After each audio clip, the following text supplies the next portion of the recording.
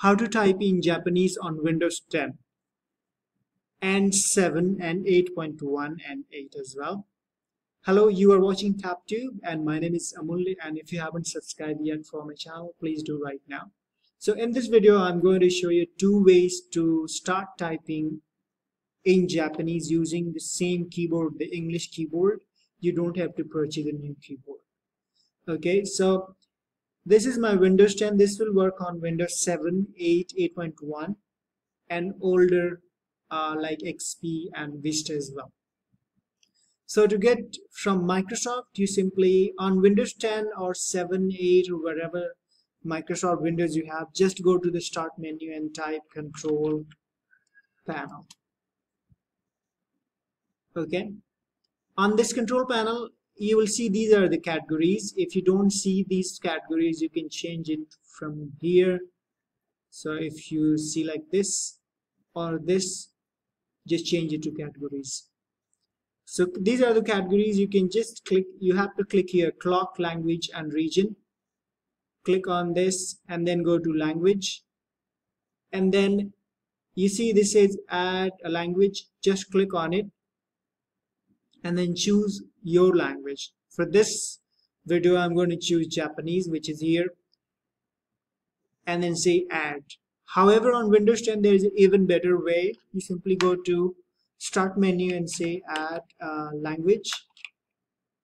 Okay, to, to this device, just click on it. And here you will see say add language. Just click on it and type the name of the language that you want to so Japanese and here is Japanese. Just uh, select it and it's been added. Now you can check here you've got Japanese IME Microsoft IME so it's that simple. Uh, if you add from here the same thing will happen. Okay? It's been added. Okay? So the other way this is Microsoft IME you can use it to toggle to switch between the languages installed on your computer on Windows 10 you simply press look at the keyboard and press the Windows key and space bar and you would be able to switch between the languages on your computer. So let's say I've selected Japanese. Now you can see when you switch to Japanese you get this um, another option which is IME option which says right click to open. So right click and you will see you can type it in hiragana. You can type in katakana. And there are a lot of other ways. So once that's selected open your notepad and you would be able to type in.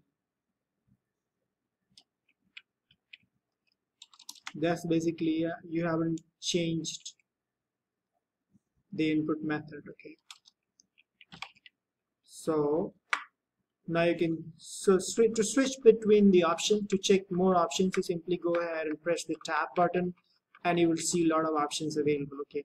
Control delete to remove this candidate no you don't want to. And then press it press the enter key and space and then you start typing again. Then you say I'm not sure what what it means but I'm just doing something okay this is a if you tab tab press the tab button you'll get a lot of kanjis and other things. Okay starting with that particular sound or whatever you call it sir. So the other option is you can download google IME for Japanese language and that is way better. So to get Google IME simply open the Google Chrome or Firefox or Microsoft Edge or Internet Explorer and say Google. Japanese IME okay and then press enter. So here is Google IME just click on it. If you're using Google as a search engine that will appear on the very top wherever you are in the world no matter.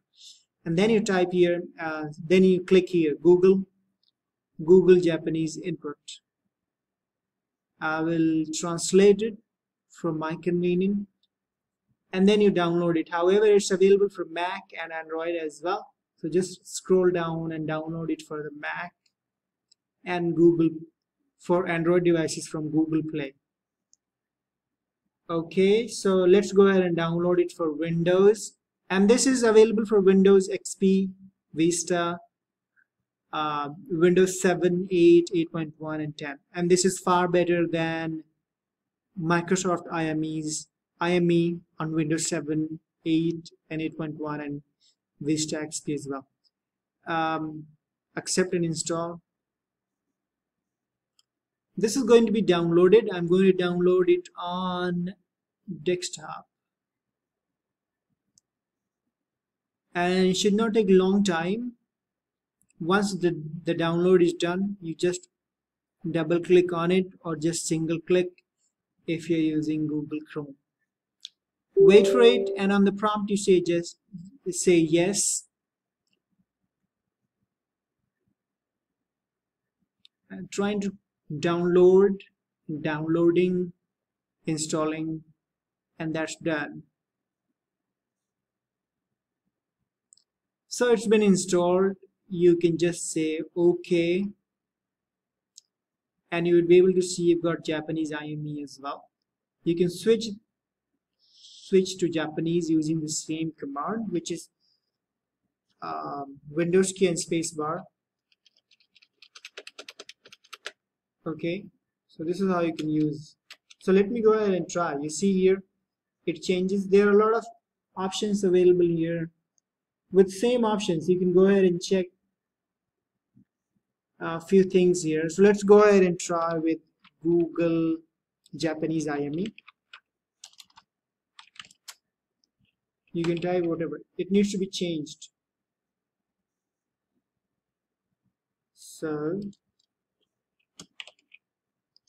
so on here basically when you if you press shift and A you can toggle between English and I guess it's hiragana hiragana yeah.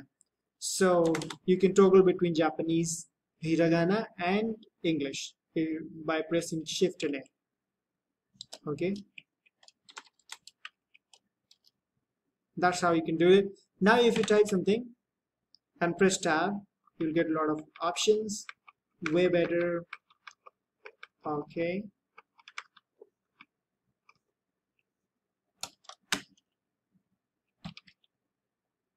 what does that mean? I'm, I'm not sure.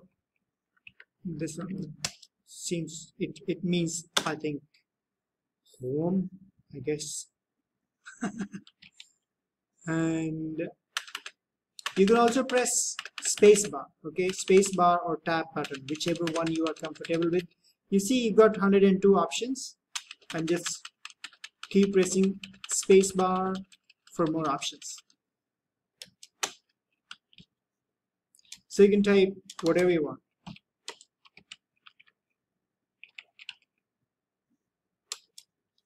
is that hiragana i'm not sure so this is how you can type in japanese on windows 10 probably on Windows 7, 8, 8.1 as well, Vista and XP. If you are going to use Google, it will work on any operating system equally, okay? So thank you so much for watching this video. Please like, share and subscribe for my channel. Have a good day. Bye for now. Take care.